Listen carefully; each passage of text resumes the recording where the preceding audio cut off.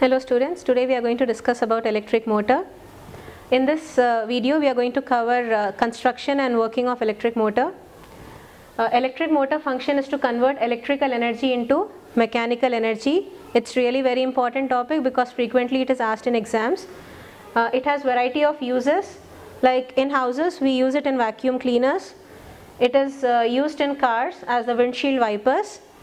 Uh, it is in industries it is used in conveyor belts now let us start with the construction of electric motor.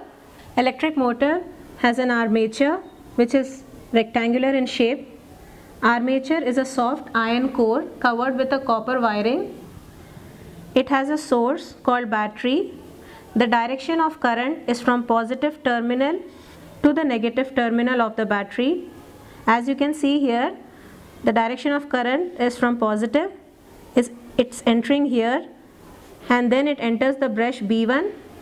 Brush is a hairy structure which keeps touching the solid thing which comes near it. Here the solid thing is split ring.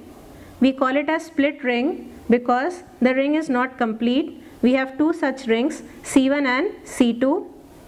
From brush B1 the current enters the ring C1. Through this it enters the shaft Shaft is a rod-like structure which keeps rotating. Through the shaft, it enters the armature.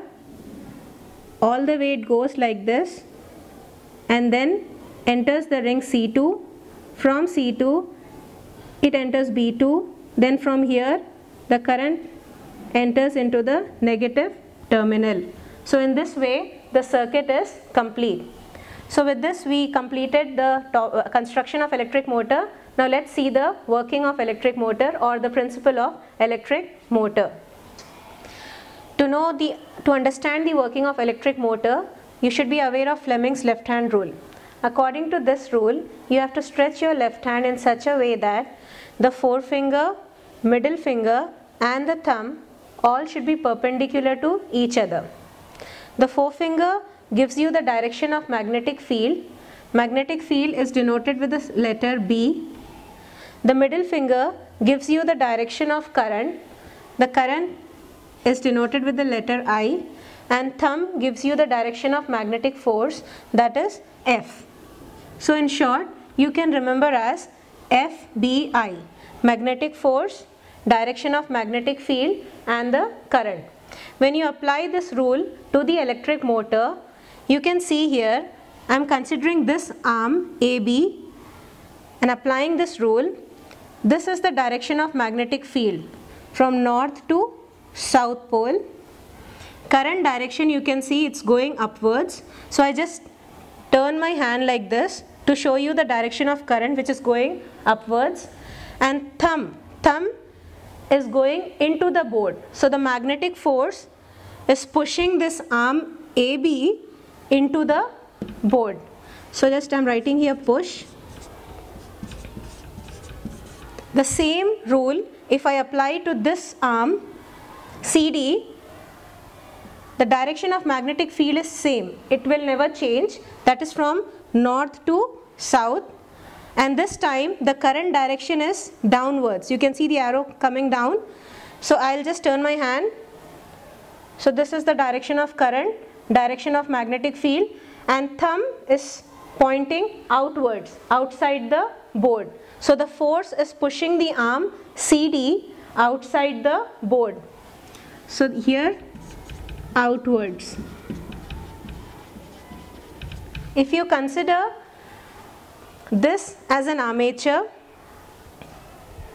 so AB you can see it's pointing towards me and CD is to the other side. Magnetic force on AB is pushing the armature inside from other side, the CD is getting pushed outwards.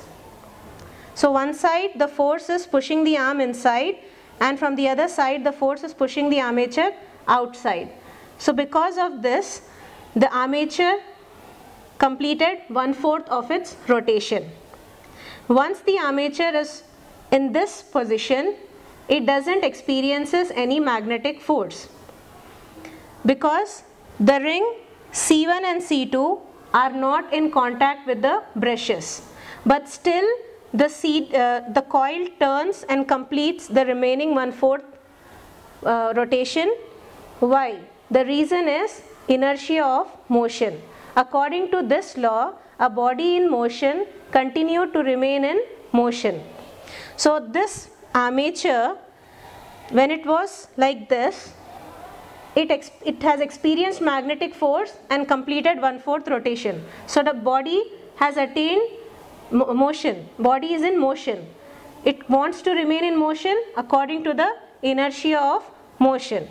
Now you can see that CD is facing towards me. In the previous case, AB was facing me and CD was to the other side. Now CD is facing me and AB is to the other side.